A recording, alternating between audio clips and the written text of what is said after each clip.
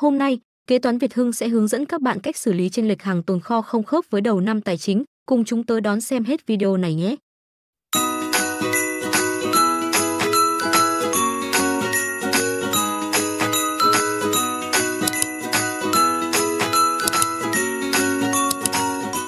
Trên bảng cân đối tài khoản của em ấy là đang 156 đang dư là 706 là bản chất là bảng cân đối tài khoản nó đang nhiều hơn so với chi tiết đúng không Vâng. mà Vâng. cái lỗi này rất nhiều bạn học viên bị đấy, có cái tình trạng là giữa chi tiết và tổng hợp không khớp nhau đấy bây giờ chị Vâng. sẽ lấy 703 028 705 này này đó Vâng. tức là trên bảng cân đối đang nhiều hơn em chấp nhận là em sẽ lấy chi tiết như như báo cáo cũ ấy để lại cho Vâng. mình thì em sẽ lấy 703 028 755 mà trừ đi 361 triệu 197.311 đồng.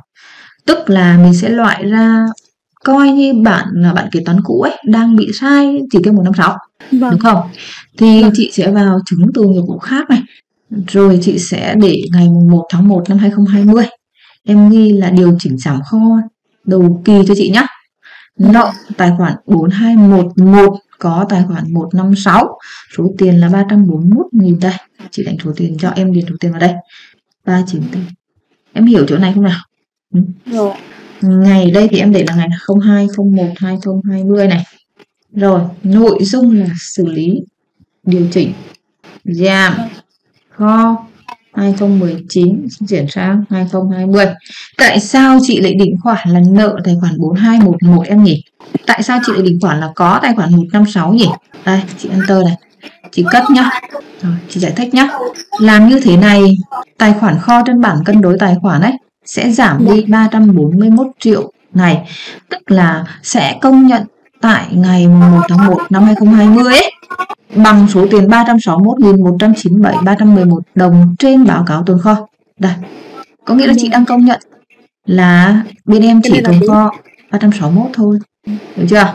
Đây này, Ừ. 361 thôi. Nghĩa là trên bảng cân đối là 703, chị trừ đi 361 ở đây. Nhá, Ừ. thì vanh mất 341 này chị phải giảm kho đi. Đó là cách thứ nhất. Cách này là cách như coi như mình công ty mình đang chịu thiệt nhá. Bởi vì mình không thể nào kiếm được cái bảng chi tiết tồn kho ấy. Không có căn cứ từ năm cũ chuyển sang năm mới là tồn kho bao nhiêu số liệu cả. Và do bây giờ mình phải tôn trọng ở cái số dư trên báo cáo tài chính phải là 703. Đúng không? Nhưng bây giờ nếu như mình mà tôn trọng số dư thì lại vanh trong năm đầu đầu kỳ mối quan hệ giữa chi tiết và tổng hợp đã không khớp nhau rồi thì việc xử lý trong kỳ và cuối kỳ nó cũng sẽ bị vanh luôn cuối kỳ nên để tránh vanh vanh vấn đề cuối kỳ ấy đúng không? Tránh bị chênh lệch cái mối quan hệ là dư nợ 156 trên bảng cân đối tài khoản và trên báo cáo kho 156 thì chỉ bằng một cách tối ưu hơn có nghĩa là mấy công ty mình chịu thiệt và đưa vào nợ 4211 có 156 phần chênh lệch. Rồi, thế còn trường hợp thứ hai nếu như công ty mình không muốn mất cái khoản tồn kho 341 triệu này thì em phải lục lại năm 2019 ấy. Đó, mình sẽ kiếm ra được cái số tiền đúng bằng 703 triệu 028.705 đồng trên bảng cân đối tài khoản. Được chưa? Thế nhưng mà làm như thế cũng rất là lâu. Thôi, đưa vào phương án này luôn bởi vì là mình Vâng, không biết được mò ở đâu mà ra. không tìm được cái gì nữa rồi ấy. Không thể tìm được luôn đấy chứ. Nhỉ? Vâng. khó lắm bởi vì là muốn có được số liệu thì bản thân trên năm 2019 phải có một cái dữ liệu MISA như thế này ấy thì may ra mình tìm được. Còn bây giờ em không có sổ sách thì chị không tìm được cho em đâu nhá. Ok chưa? Ừ, có hai phương án xử lý. Một là sửa chi tiết mà hai là sửa tổng hợp thôi. Đăng nào cũng phải sửa nhá. Và tại sao mình lại đưa vào tài khoản 4211 bởi vì mình sẽ làm giảm cái lợi nhuận của năm ngoái đi. Và cái tài khoản này là một cái tài khoản nó không bị ảnh hưởng bởi một một tài khoản nào khác cả ấy nhá. Đúng không? Cho nên là không ảnh hưởng bởi một cái tài khoản nào khác. Mình chỉ có cách đưa vào 4211 các cái khoản mà tổ chị hay xử lý ấy để làm giảm chi phí giảm lợi nhuận đi thì đưa vào tài khoản 4211 rồi. À, bây giờ nhá từ đây nhá em sẽ chạy lại kho của năm 2020 này này. Đúng không?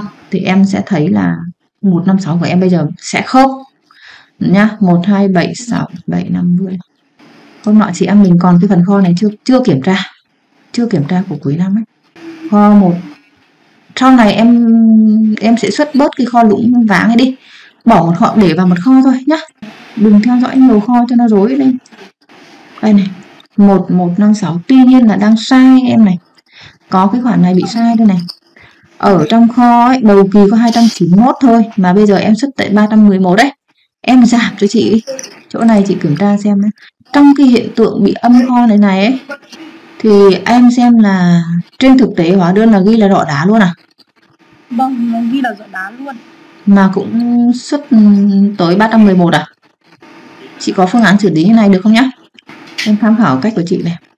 Cái này thì bắt buộc là phải làm rồi bởi vì không thể nào mà trong kho của em không có kho mà em không đủ kho mà em xuất đúng nào thì tại cái ngày xuất đó trước một ngày đi em sẽ vào phần nhập kho nhá em nhập cho chị hai số lượng hai 20 này vào này.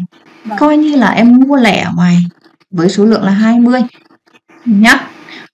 Cách thứ nhất là em không ghi nhận phần giá trị đơn giá đâu.